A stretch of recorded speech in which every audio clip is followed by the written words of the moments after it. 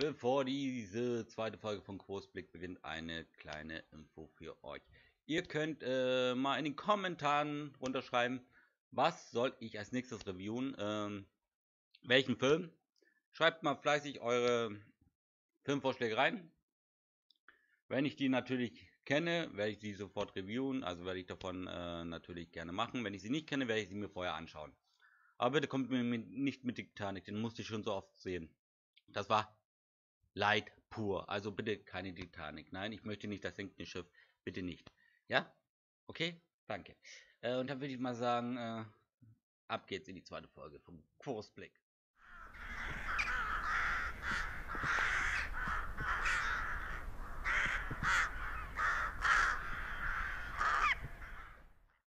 Hallo liebe Community, Family und Zuschauer, ich bin's wieder mal euer Gemonico und herzlich willkommen zu der zweiten Folge vom Kursblick.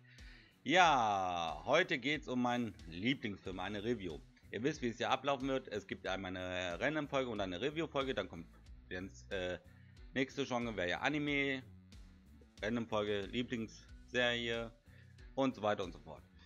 Und äh, heute will ich euch mal meinen äh, Lieblingsfilm vor vorstellen und es ist eine Comic-Verfilmung. Am Thumbnail habt ihr bestimmt schon gesehen, welche Comic-Verfilmung es ist. Wenn ihr die nicht kennt, werde ich sie euch heute mal gerne näher bringen. Und deswegen aber will ich hier noch was aussprechen. Und zwar eine fette Spoilerwarnung, weil ich werde hier über den ersten Teil berichten, dann über die drei Fortsetzungen plus über die Serie werde ich generell ein Wort verlieren, ein bisschen über die Handlung, äh, meine Meinung natürlich auch, wie ich die Fortsetzung finde, und ja, deswegen Spoilerwarnung für euch nochmal. Ja, äh, mein Lieblingsfilm ist eine Comicverfilmung, wie gesagt, und der Name ist Silko die Krähe. Ganz genau, Silko die Krähe. Eine Comicverfilmung, richtig. Denn äh, es gab schon vorher den Comic Silko die Krähe. Gezeichnet wurde es von James O'Barr. Und äh, im Jahre, in den Anfang der 90er wurde beschlossen, einen Film zu machen. Und das war eben Seco, die Krähe. Ähm, Regie hat hier geführt, ich muss das hier ablesen, Alex Proyes, äh, bekannt aus Knocking, iRobot und Dark City. Ja, iRobot sagt vielen euch was, äh, und zwar ist das der Film mit Will Smith und den, äh, ähm, hier mit den Robotern, die eine Verschwörung planen, einen Aufstand. Dann natürlich mit Brandon Lee, der Hauptdarsteller, Sohn von der ähm, Filmlegende Bruce Lee. Dann äh, Michael Vin Gott hat mitgespielt. Das ist der hier im Film hat er Top Dollar gespielt, den Bösewicht. Und viele kennen ihn noch aus dem Film Robin Hood, König der Diebe. Ein sehr alter Film, äh, Anfang der 90er. Und da hat er den Cousin des ähm, Bösewicht gespielt. Ja, und dann hat noch Ernie Hunton mitgespielt. Der hat hier Sir, äh, Sergeant Albrecht gespielt. Und ihn kennt man aus Miss Undercover 1 und 2 und Ghostbusters 1 und 2. Und das ist nämlich der Afroamerikaner äh, der Ghostbusters gewesen. Und äh, ja, das sind so erstmal die wichtigsten Rollen, die auch hier im Film vorkommen. Klar gab es noch andere äh, Rollen, äh, die werde ich gleich noch was zu sagen, zu der Handlung nämlich. Und ja, sonst gibt es noch zu sagen, das Produktionsland war USA, äh, Erscheinungsjahr war 1994, 102 Minuten Laufzeit und FSK 18. Und liebe Leute, wenn ihr The Quo irgendwo seht mit FSK 16, lasst die Finger davon. Die 16er Version ist so stark geschnitten, da kriegt man einen Heulflash. Ohne Witz. Ich habe mir mal die 16er Version angesehen, das war damals im TV. Und ähm, nein. Die 18er Version, die später dann kam, die ungeschnittene, ja. Deswegen, ich hatte den nämlich auch als Video äh, gehabt. Und ich fand ihn, äh, habe ich aufgenommen gehabt über Fernsehen? Und deswegen mein Lieblingsfilm. Und äh, warum ist er mein Lieblingsfilm? Was hat die Handlung? Äh, wie ist die Handlung? Was gibt sonst noch für Infos? Das gibt's jetzt. Ja, zur Handlung äh, gibt es äh, einiges zu sagen. Und zwar geht es hier generell im Film, wie um in den Comics, um die alte Legende, dass Krähen verstorbene Seelen äh, wieder aus dem Totenreich ähm, wieder hervorbringen können und den Toten damit wieder leben können. Im Mittelpunkt stehen hier Eric Draven, gespielt von Brandon Lee, und äh, Shelley Webster, gespielt äh, von Sophie Chinas. Und natürlich die Sarah, äh, gespielt von Rochelle Davies. Die drei stehen hier ähm, im Mittelpunkt. Äh, die drei sind wie eine Familie. Und ähm, ob Sarah nicht ihre eigene Tochter ist, sie ist mit, den Ver mit Shelly verwandt. So muss das gewesen sein. Nach meiner Erinnerung. Und ähm, ja, weil die Mutter sich nicht um Sarah kümmert. Die äh, vernachlässigt sie, die nimmt Drogen, lässt sich mit falschen, falschen Leuten ein. Und äh, in Eric und Shelly hat sie eine neue Familie gefunden. Äh, Eric ist äh, ein Gitarrist in einer Metalband äh, und seine Verlobte Shelly äh, wohnen gemeinsam in einer großen Wohnung im Obergeschoss. Und in der sogenannten Teufelsnacht, das ist einen Tag vor Halloween, ähm, kriegen sie Besuch von einer Gang.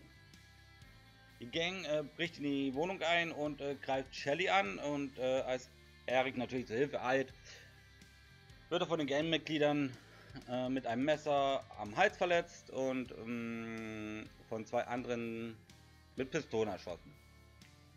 Und was machen sie danach? Ja, großes Fenster, denken sich, cool. Ja, lernt mal fliegen und schmeißen sie zack, aus dem Fenster. Es heißt zwar Co. Fliegen konnte er generell nicht, auch nicht als Superkraft. Und mit der Landung hat es erst recht gehabert. Ja, er ist tot. Ja, was ist mit Shelly? Ja, Shelly wird überwältigt und ja, vier Männer. Voll auf Adrenalin, Testosteron und wahrscheinlich Drogen. Was denkt ihr, was sie mit der lieben Shelly gemacht haben? Ja, ihr denkt richtig. Äh, sie haben sich mit ihr vergnügt. Shelly überlebt das, äh, schwer verletzt und wird ins Krankenhaus gebracht. Und Sarah sieht das und Sergeant Albrecht äh, war, wollte Ermittlungen aufnehmen, aber irgendwie kam er nicht voran und wurde auch teilweise angehindert und ähm, Shelly starb im Krankenhaus. Ein Jahr nach den ähm, Tat besuchte Sarah das Grab und äh, legte bei beiden Gräbern Blumen nieder. Sie war jetzt allein. Die Mutter immer noch, immer noch, die Mutter hat sich immer noch nicht gekümmert um äh, oder kümmert sich immer noch nicht um sie. Und äh, das Lustige ist, äh, die Mutter, sage ich so wie es ist, poppt mit ein aus dieser Gang, die Shelly und Eric umgebracht haben. Nur äh, sie weiß das nicht und Sarah weiß das auch nicht. Als sie äh, vom Friedhof ging, die liebe Sarah, ähm, sah sie eine Krähe und es kommt, wie es kommen muss. Die Krähe belebt Erik wieder und ja, und dann Rache. Erik sehnt sich nach Rache. Aber um Rache zu nehmen, äh, muss er erstmal verstehen, was er ist. Und er nach und nach im Film äh, versteht er, was er ist und äh, versteht auch seine Kräfte einzusetzen. Er bekommt Hilfe auch noch von äh, Sergeant Albrecht, von Sarah, wenn, wo sie rausfindet, wer er ist. Und dieser Rachefilm ist einfach nur hammermäßig geil. Ich möchte hier jetzt nichts weiter von der Handlung erzählen. Ich habe euch jetzt ein bisschen was vom Anfang erzählt. Wenn ihr ihn sehen wollt, guckt ihn euch gerne mal an.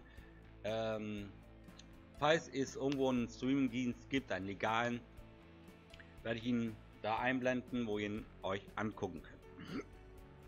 So. Aber Seko, was sind seine äh, Kräfte? Nun, ähm, erstens, er hat wie Wolverine und Deadpool heilen seine Wunden sehr schnell und er kann nicht sterben. Ähm, meiner Meinung nach hat sich auch die Schnelligkeit, die Stärke und die Reflexe zugenommen und er kann mit bloßen Handauflegen äh, an andere Menschen, ähm, die das Gedächtnis aufrufen, was passiert ist. Zum Beispiel, wenn er will wissen, was vor einem Jahr passiert ist, legt er Hand auf und sieht dann deren Gedächtnis, also deren Gedanken, was vor einem Jahr passiert ist. Das sind so seine Superkräfte. Natürlich, er hat auch eine Schwachstelle, doch die werde ich ja auch nicht verraten. Dafür schaut euch einfach mal äh, den Film an. Ja, ähm, hier gibt es noch aber auch über den Film ein paar Hintergrundwissen, weil der Film erlangte leider auch traurige Berühmtheit, denn Brandon Lee ist beim Dreh verstorben. Morgen die Dreh aus dem Off hier. Ja, ich muss mich hier jetzt mal kurz melden und zwar beim Video bearbeiten. Äh, und beim äh, Raussuchen von Material zum Video habe ich was entdeckt und das will ich euch jetzt hier nicht im vorenthalten. Und zwar, es geht um den Tod von Brandon Lee. Viele Gerüchte sagen ja, er wurde erschossen mit echten Kugeln. Und ich habe jetzt einige Artikel gefunden, die das Gegenteil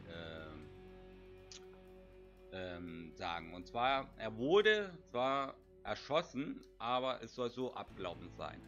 Bei einem Dreh einer Szene hat sich wohl ein Teil der Platzpatrone im Lauf verhakt gehabt. So, und als sie die nächste Szene gedreht haben, haben sie wohl nicht kontrolliert oder nicht nachgeguckt. Whatever, wer weiß. Und äh, haben den Revolver, die Waffe nachgeladen und äh, beim Dreh der nächsten Szene, wo er auf äh, Brandon schießen sollte, der Schauspieler, der jetzt auch verstorben ist, wie ich da dadurch erfahren habe, ähm, hat sich bei diesem Schuss dieses Metallstück äh, gelöst gehabt und hat Brandon damit tödlich verletzt. So soll es abgelaufen sein. Wie gesagt, Gerüchte zufolge sagen viele, nee, der wurde mit echten Kugeln erschossen, jemand hatte was gegen ihn. Deswegen, ich wollte das hier nochmal klarstellen und ja, das war's eigentlich. Das war heftig gewesen, deswegen der Film erlangt, äh, erlangte deswegen auch traurige Berühmtheit. Der sollte eigentlich schon ein Jahr vorher, 1993, in den Kinos kommen, aber durch dieses ähm, Drehunfalls ähm, hat sich das verschoben. Sehr traurig und äh, noch mein Beileid an die äh, Familie. Ähm, zum, was heißt, äh, zum Glück, ähm, es war erst am Anfang unklar, ob sie den Film überhaupt weiterdrehen wollten. Aber zum Glück, muss man ehrlich sagen, wurden, mussten nur noch wenige Szenen gedreht werden und das haben sie eben durch Körperdouble gemacht oder durch einen digitalen Trick mit Ausschussmaterial von Brandon Lee. War damals echt äh, revolutionär zu dieser Zeitpunkt, äh, aber auch teuer. Ja, ah, und der Regisseur äh, Alex Proyes ähm, hat äh, nach diesem Film auch äh, ein dramatisches Erlebnis gehabt. Und jahrelang war seine Kreativität sehr gelähmt gewesen. Erst mit Dark City äh, kam, hat er wieder so sein Comeback erlebt gehabt. Aber dieser Film hat aber auch, ähm, kann man sagen, auch der Rest der Welt äh, inspiriert. Wie meine ich das? Nun, das hier, meine lieben Leute, ist Sting. Sting, ein bekannte WWE, nee, eine bekannte Wrestling-Legende, äh, damals angetreten für die WCW, äh, TNT, äh, WWF und dann noch bei All Elite Wrestling, äh, wo er jetzt zurzeit unter Vertrag steht. Denn dieser Sting sah Anfang seiner Wrestling-Karriere so aus. Und äh, das war zu WCW-Zeiten, äh, kam dann die NWO, das waren damals bestand sie aus Hulk Hogan, Kevin Nash und Razor Ramon. Und äh, man brauchte einen, einen, der die NWO vertreibt, weil die haben da ja den Heel-Part übernommen. Und da kommt Sting ins Spiel und Sting hat sich vom Film Segro inspirieren lassen und sah dann so. Und dieses Face hat er äh, bis heute beibehalten. Ich weiß noch, da bei TNT oder TNT, diese andere Wrestling-Gesellschaft, ich blende euch mal das da ein, ähm, hatte mal so eine Art Mischung aus The Quo und Joker-Gimmick gehabt. Ich habe mir, davon gibt es auch haufenweise YouTube-Videos, habe ich mir angeguckt, war sehr lustig gewesen. Muss ich ehrlich sagen. Ähm, ja, und äh, deswegen, äh, und er sagt auch selber, er hat sich die Inspiration aus dem Film geholt. Äh, was man noch sagen kann, ist eigentlich, dass der Film äh, Brandon und seiner Verlobten ähm, Elise Hunton gewidmet wurde die eigentlich wenige Tage nach dem Drehschluss heiraten wollten. Dann ähm, das Musikvideo zu dem Lied äh, Beyond Well von der Gothic Band, Gothic Metal Band Tristania ist aus den 10 von Sequo zusammengeschnitten worden. Auch sehr interessant. Und es gibt ähm, eine Szene im Film, die finde ich extrem auch geil. Und zwar, es gibt ja den All bekannten Schriftsteller ähm, Edgar L. Allan Poe. Ähm, der hat ein Gedicht geschrieben, Der Rabe. Und man merkte hier, dass der Regisseur ein Fan von äh, Edgar Allan Poe war. Denn ähm, in einer Szene ging Erik zum Pfandleiher und klopfte an die Tür. Und wo der Pfandleiher gesagt hat, äh, wir haben nicht auf, und den angemerkt hat, klopfte nochmal so, dass die Scheiben zerbrachen und zitierte aus der Rabe folgende Zeilen. Und auf einmal hörte ich ein Klopfen. So, als ob jemand ganz sanft an die Tür meines Zimmers klopfte. Ganz genau. Äh, fand ich echt lustig und ja. Ja, das äh, erstmal zum äh, Hintergrund des ersten Teils. Jetzt gehen wir nochmal schnell Durchlauf zu den äh, Spin-off und zu den drei Fortsetzungen.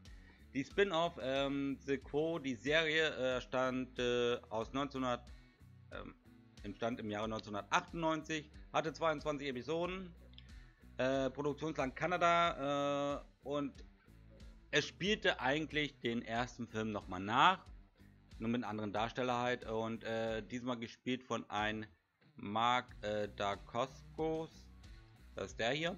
Die Serie spielt eigentlich den ersten Film nach, mit der besonderen äh, Handlung, dass nach der Rache er sich nicht zur Ruhe legen konnte, denn er muss das ähm, Gleichgewicht von Gut und Böse wiederherstellen. Und das wird und das geht in den, zwei, in den 22 Episoden wird das das Thema sein. Äh, was gibt es so halt zu erzählen? RTL 2 hat es damals ausgestrahlt, deswegen kenne ich die Serie, aber nur ein paar einzelne Folgen. Ich muss mir die unbedingt nochmal irgendwo holen. Und zwar am 4. Januar 2000 wurde das erstmal auf RTL 2 ausgestrahlt. Wie gesagt, ich will mir die nochmal holen, äh, mal gucken. Und mal, mal gucken, wie die so sind, weil ich habe nicht alle Folgen leider gesehen.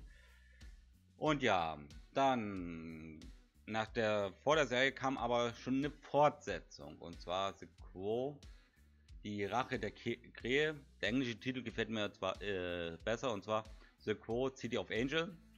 Äh, Produktionsland war auch USA. 1996 äh, kam er raus und 82 Minuten Laufzeit. FSK 16. Achso, die Serie FSK mäßig Weiß ich nicht, äh, habe ich auch nichts daran gefunden, aber ich schätze mal auch ab 16. So, das ist eine direkte Fortsetzung zu Teil 1, weil hier wird es steht auch wieder Sarah im, mit im Mittelpunkt. Und ähm, in Teil 2, die Rache der Krähe, geht es diesmal um einen Vater und seinen Sohn, die äh, Zeugen eines Drogenhandels waren und natürlich aller italienische Mafia-like Betonschuhe rangekriegt haben und ins Meer geschmissen wurden. Und die Krähe hat den Vater wieder hochgeholt und äh, Sarah hilft ihm, äh, weil sie es ja kennt von Eric, äh, mit dem Leben zurechtzukommen. Und na klar, wie ist es? Wieder mal Rache. Rache, Rache, Rache. Dieser Film war aber auch bei den Kritiken äh, sehr schmählich angekommen. Aber, liebe Leute, das wusste ich nicht. Es gibt von The Quo City of Angel ein Videospiel für PC, Sega Saturn und Playstation. Hier mein Bild davon. Und liebe Leute, wenn, jemand, wenn ihr jemanden kennt oder ihr selber das Spiel habt, bitte meldet euch bei mir bei Instagram oder Twitter. Ich möchte gerne das Spiel haben. Über Preis können wir gerne reden, aber ich will dieses Spiel haben in meiner Sammlung. Und ich mag Sequo, und ich will wissen, wie das Spiel ist. Ohne Witz, also wenn ihr sagt, bitte, ne? Schreibt mich an, Instagram, Twitter. Ja, ähm, wie gesagt, äh, der zweite Teil wurde größtenteils noch in Los Angeles gedreht. Die Einnahmen, naja, äh, die Produktionskosten liefen sich damals schätzungsweise auf 13 Millionen. Der Film spielte in den USA circa 18 Millionen rund ein und circa nochmal 8 Millionen in, in, in, den anderen Ländern. Also es war, kann man sagen, ein kleiner. Ja, sonst noch was? Äh, ne, eigentlich gibt es nicht mehr viel zu dem Film zu sagen.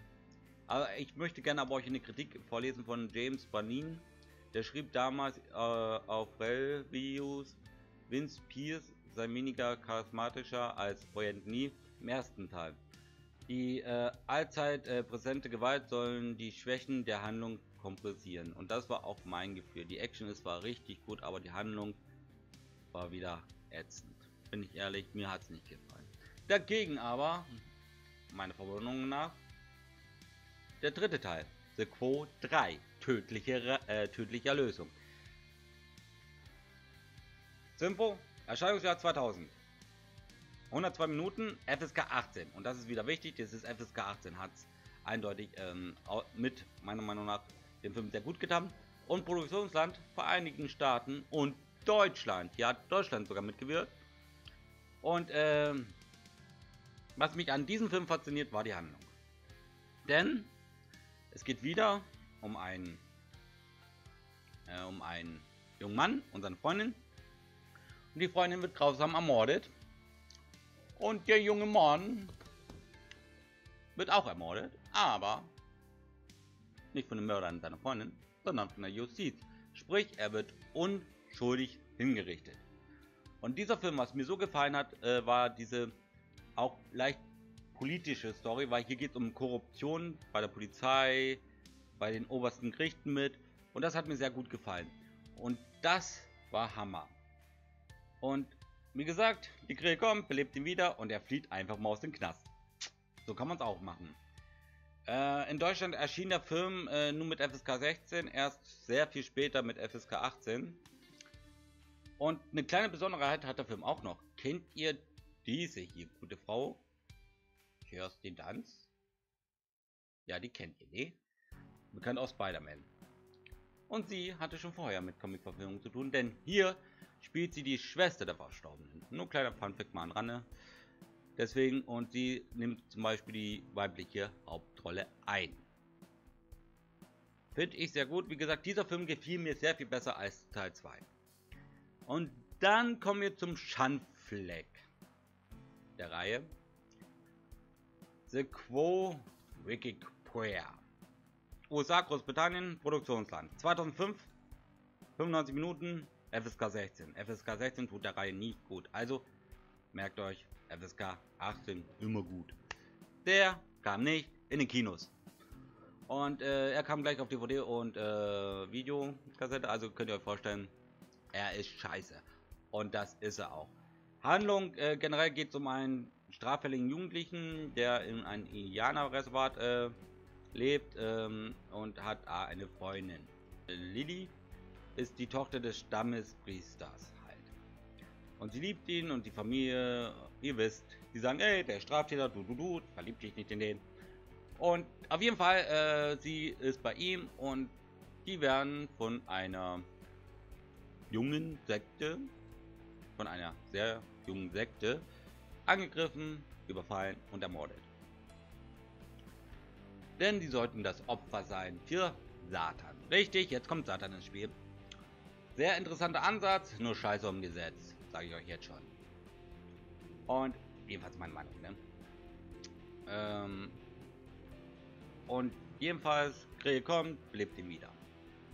Und hier spielt ein Mann mit und er spielt den Bösewicht, er spielt Satan, er spielt Dead, er spielt Lukas und das ist David Oranz. Na, kennt ihr ihn? Die etwas älteren unter euch äh, kennen ihn wahrscheinlich aus Buffy, Buffy der Band Dämon, da hat der den Vampir Angel gespielt, aus seiner eigenen Serie Angel. Und die Jüngeren müssten ihn aus Bones der Knochenjäger kennen, da spielt er nämlich den FBI Agent. Ganz genau, der hat da den Bösewicht gespielt. Er hat ihn gut gespielt, aber ich weiß nicht, es hat irgendwas immer wieder gefehlt. Der Film ist wirklich der schlechteste aller Zeiten. Für mich. Das ist die schlechteste Co-Fortsetzung überhaupt. Von der ganzen Reihe ist es der schlechteste Co-Film. Und noch zu sagen ist, dass hier hat noch ein anderer mitgespielt und zwar ein Danny Terrio. Ja, den kennt ihr aus Machete. Machete, ne? ne? Der, der ist immer ein Trash-Film. Ich finde das so geil. Immer so gesagt, ich mag den Typen, aber der ist immer ein Trash-Film. Manche Trash-Filme mit ihm sind sehr gut, äh, manche leider nicht. Deswegen, naja. Sonst, äh, ja, die vier. Viele sagen, Kritiken, ich lese hier mal eine vor. Das äh, Lexikon des Internationalen Film urteilte, die vier, der 4. August, The Quo-Sage enttäuscht in allen Belangen. Ein Lehrbeispiel dafür, dass auch noch so erfolgreiche Filmwellen auf Dauer nur tot geritten werden können. Und das war hier auch der Fall. Ja, Das sind die Teile. Aber das war es noch nicht. Nein, äh, denn sie haben versucht, dieses Franchise wiederzubeleben. Und äh, wollten ein Reboot machen von The Quo, die Krähe. Vom ersten Teil. Mit dem jungen Mann da. Tom Hiddleston. Ganz genau den Loki-Darsteller aus Thor Adventures. Ihr kennt ihn. Und nächst mit seiner Loki-Serie. Bisher ist der Film nicht zustande gekommen. Er hatte viele Produktionsschwierigkeiten und und und. Also, ob der je noch mal zustande kommt, ist eine andere Frage. Frage: Würde ich ihn mir angucken? Wahrscheinlich. Würde ich ihn nehmen? Weiß ich nicht. Ich lasse es auf mich zukommen. So, das, meine lieben Leute, war es aber damit. Mit dieser ersten Review-Folge. Und hier gibt es meine Bewertung zu den allen Filmen. Die Serie lasse ich jetzt außen vor, aber zu allen Filmen gibt es erstmal die Bewertung. Silko 1, klar, die Krähe kriegt von mir eine glatte 1. Silko 2, die Rache der Krähe, äh, mit gutem Willen gebe ich dir noch eine 3 minus. Co, tödliche Erlösung, weil mir die Story sehr gut gefallen hat und hier mal ein bisschen so gesagt, die Intrigen und dass er vom Staat hingerichtet wurde, gebe ich eine 2 minus. Und äh, The Quo Wickenbreyer, paar gute Szenen dabei. Der Bösewicht war ganz in Ordnung. Äh, der Schauspielleistung war auch in Ordnung von ihm, aber der Rest konnte es vergessen. 4 minus. Ja, das ist meine Bewertung. Aber was hattet ihr? Kennt ihr die Filme? Oder sagt ihr, ey, Co, ich bin einer Meinung, ich finde den Teil 4 doch so geil. Dann ab ihn unter die Kommentare, ne? Schon mal tippen, tipp, tipp. Und dann würde ich sagen, danke, dass ihr reingeschaut habt.